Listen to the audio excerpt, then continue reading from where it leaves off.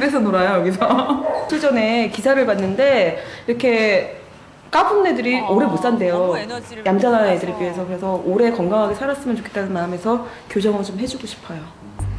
어, 그러고 보니 언제나 에너지가 넘쳤던 금동이 자세히 보니 갑자기 들어 누웠다가 하나, 둘, 셋, 3초 만에 벌떡 일어나.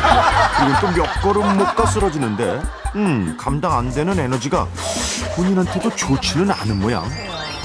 그렇죠. 그래서 규순 씨의 오랜 꿈이었던 명견의 사고뭉치 삼총사가 도전해보기로 했다. 일단 명견으로서의 자질이 있는지 테스트를 받아봤는데 다른 동물들과의 사이를 보는 사회성 테스트는 그 결과 이건 참 애매하고 주인에 대한 복종 테스트는 아 주인이 더 복종을 잘한다 얘가 그렇게 말썽을 많이 피지만 그래도 잘하는 게 있을 거예요. 옳거니 명견보다는 좋은 반려견이 될 수 있다는 말씀 마침 관심 갖는 게 있었으니 호호 펄짝펄짝 뛰어놀면서 동시에 원반을 물고 놀 수 있는 프리스비 음, 일단 물욕이 있고요, 어, 짧은. 날이네요. 일단 시켜보면 잘할 것 같아요. 표정이 별로 글쎄. 기대만큼 금동이가 잘할 수 있을까? 그런데 오! 야 정말 말하는 대로 움직이는 금동이 반가운 변화가 보이기 시작했다 그리고 평소 주의 산만했던 햇살이와 바람이 먹을 때나 집중했을 땐 얌전해지는 장점을 이용해서 명균의 기본 항목 주인과 함께 차분하게 걷는 법부터 배우기로 했다. 평소 주변에 너무 관심이 많아 정신없던 녀석들 걸을 땐 앞에만 앞에만 집중하며 걷도록 훈련했는데 그랬더니 오 교순 씨와 함께 걸을 때도 조금씩 집중력을 발휘하기 시작했다. 줄을 좀 짧게 잡는. 이야 내재된 장점을 살려 재능을 개발하는 게 포인트.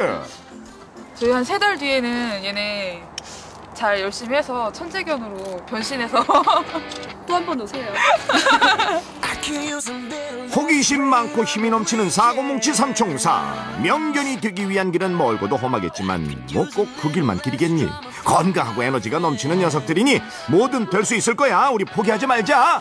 인생은 속도가 아니라 방향이란다. 뭐라고요?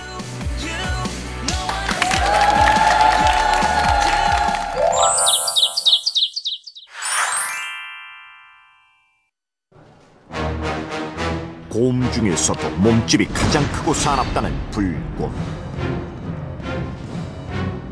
한 번 싸움이 시작되면 피를 볼 때까지 끝장을 내고야만 맹수 중에 맹수인데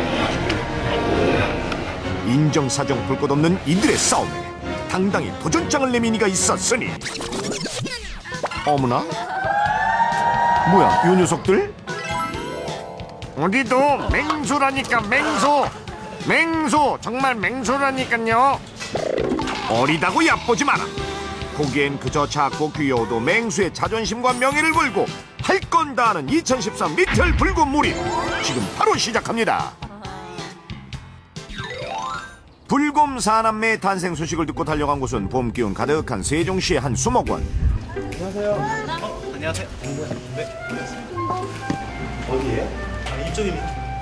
자 어디 어디 어디. 녀석들 얼굴 한번 보자 했더니 아이고 꼬물꼬물 그냥 아장아장 걷는 모습이 무슨 곰인형 같다 곰인형 같아. 하지만 작아도 맹수는 맹수. 제법 날카로워 보이는 발톱이 이들에게 뜨거운 야생의 피가 흐르고 있음을 말해주고 있었다. 띵 깜짝 놀랐지. 불금 오랜만에 보지? 응 입냄새 발사한 후에 깨물 줄 수도 있어. 낯선 제작진에게 겁을 주려는 건지 아니면 반갑다는 표현을 하는 건지는 잘 모르겠지만 쌍둥이처럼 똑같이 생긴 사총사. 아유 참 귀엽다. 곰네 마리가 한 집에 있어. 일부리이부리삼부리사부리. 아이고 일불이 이불 삼불 사불이 누가 봐도 뭐 누가 누군지 모르겠다면 우리가 주목해야 할 요주 인물은 바로 요 녀석 사남매 중 말썽이고는 일불이 한시도 가만히 있질 못하고 사고를 쳐대는데 어허 요번엔 동생들 앉은 저 자리에 기어이 앉고 싶단다. 야 비켜봐. 내가 거기 앉야 삼부리 너안 비켜 너 절로 안가너너너 그냥 너 아우! 동생들 편히 쉬고 노는 꼴은 절대 못 보겠다는 듯 결국 다 몰아내고는 어이구 어이구 어이구